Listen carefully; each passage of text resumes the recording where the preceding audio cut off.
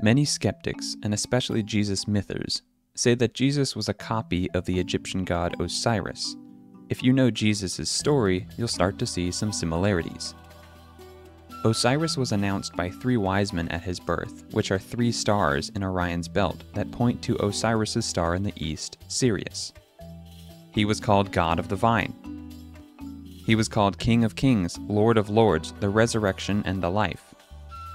He was called the Good Shepherd in a psalm that the Bible plagiarized in Psalm 23. The Lord's Prayer was copied from a prayer to Osiris which begins, O Amen, O Amen, who art in heaven he was eaten in a ritual like communion. He was killed and resurrected from the dead, and his death served as hope for all humanity. Given that the Jews spent a long portion of their history in Egypt, and Jesus apparently spent a period of his childhood in Egypt, this doesn't look very good for the case of Jesus. This is a big problem for Christians. Or it would be a problem for Christians if any of it was true. The literature surrounding Osiris never mentions any wise men, the birth narrative says, Hail, Osiris King, stand, raise thyself up. Thy mother Nut has given birth to thee. Geb has purified thy mouth for thee. There is also no reason to assume Jesus' story is linked to the astrological parts of Osiris' story, since the Jesus story never mentions Orion's belt or Sirius. Osiris was said to be Orion, which of course is never said of Jesus. It should be noted, however, that even if Osiris was attended by three wise men at his birth, this wouldn't matter. Jesus was never actually said to be attended by three wise men either. Matthew 2 gives the account. After Jesus was born in Bethlehem in Judea, during the time of King Herod, Magi from the east arrived in Jerusalem asking, Where is the one who has been born King of the Jews? We saw his star in the east and have come to worship him. On coming to the house, they saw the child with his mother Mary and they fell down and worshipped him. Then they opened their treasures and presented him with gifts of gold and frankincense and myrrh. The Magi are simply described as giving three gifts. There is no explicit indication of exactly three men. Neither Jesus nor Osiris are ever called God of the vine. Jesus says in John 15:5, I am the vine and you are the branches. The one who remains in me and I in him will bear much fruit, for apart from me you can do nothing. But of course, he isn't called the god of the vine, or of wine for that matter. There is no evidence of Osiris being called King of Kings or Lord of Lords. He is called God above gods, but this is too general of a title to have any significant connection. There is no evidence of Osiris ever being called the resurrection or the life. There is no evidence of Osiris being called the Good Shepherd in a pre Christian psalm.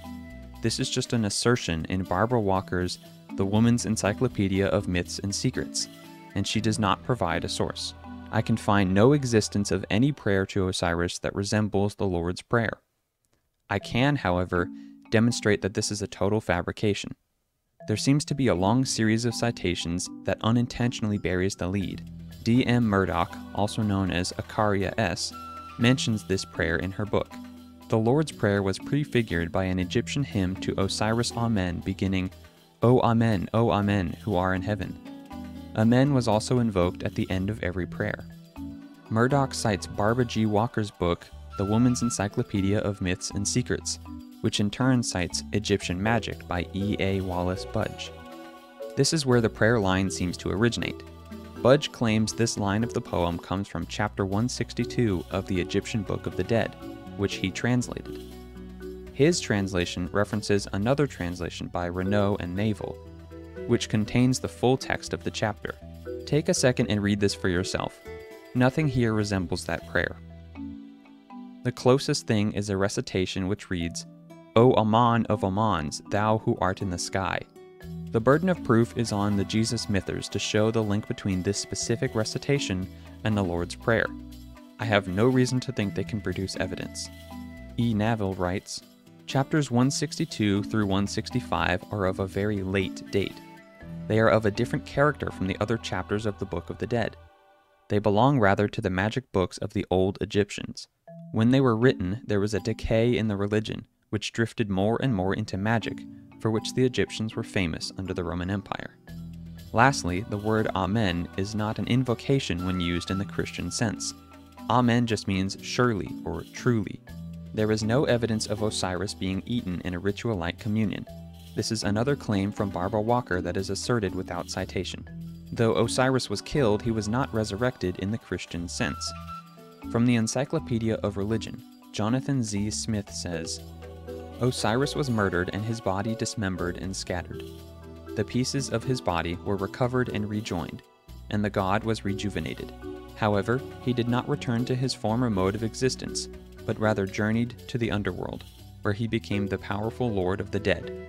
In no sense can Osiris be said to have risen in the sense required by the dying and rising pattern. Most certainly, it was never conceived of as an annual event. The repeated formula, rise up, you have not died, whether applied to Osiris or a citizen of Egypt, signaled a new, permanent life in the realm of the dead. This means that Osiris's resurrection is not a precursor to Jesus' resurrection, since they are different in their results. Osiris was considered to be the mythical prototype for the distinctive Egyptian process of mummification.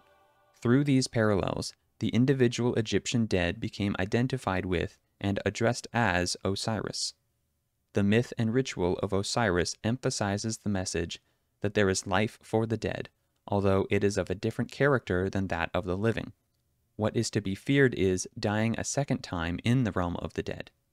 For Christians, resurrection includes a return to bodily existence and a security in the afterlife that cannot be forfeited in a second death.